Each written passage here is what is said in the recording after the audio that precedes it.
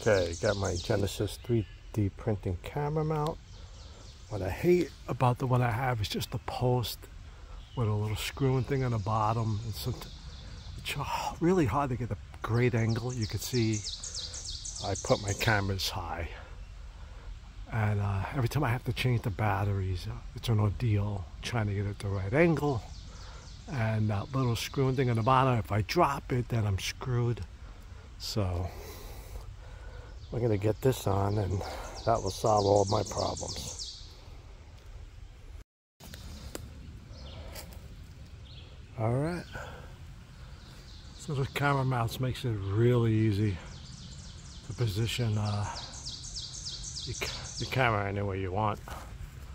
You see I put some corn out, some mineral, and the angle is just perfect. So, thumbs up.